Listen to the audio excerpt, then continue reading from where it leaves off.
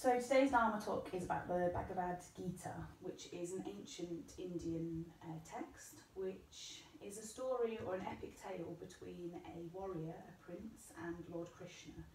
And it unfolds on a battlefield um, of the prince not wanting to fight and not knowing why he has to go into battle.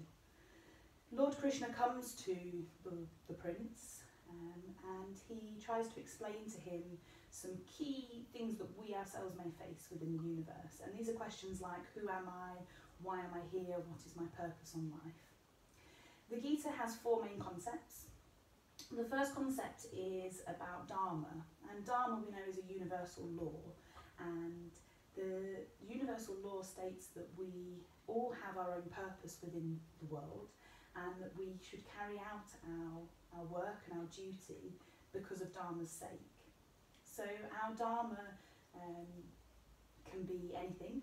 It can, it's our calling in life. And for the, the warrior, for the prince, his Dharma is to fight for his family. But he's not fighting for fighting's sake. He's actually fighting for a greater purpose. And it's understanding that what we do within our lives, um, there does carry greater purpose, and this is our Dharma. The second concept is about carrying out our Dharma to the fullest extent. And this is often seen in Hinduism and Buddhism that we should have absolute commitment to our Dharma.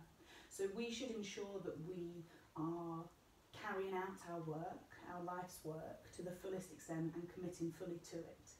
And by doing this, it means that we're carrying out our Dharma as we should. Um, success doesn't come from us doing things half-heartedly. Success comes from us giving full commitment and from us actually pouring our heart and soul in, into something. The third concept is about the fruits of our labour. So we often put a lot of work and a lot of effort in. We carry out our Dharma to the fullest extent as concept one and concept two state.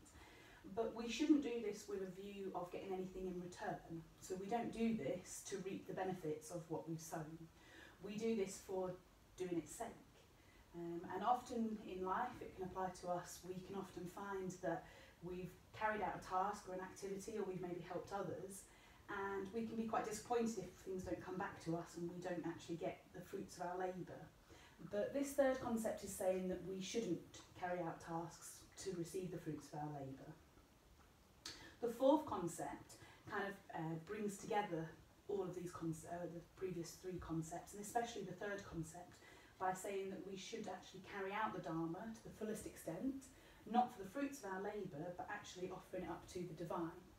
And we know that the divine is within all of us. We know that the divine runs through the air that we breathe, it runs through our bodies, it runs through every living being within the universe.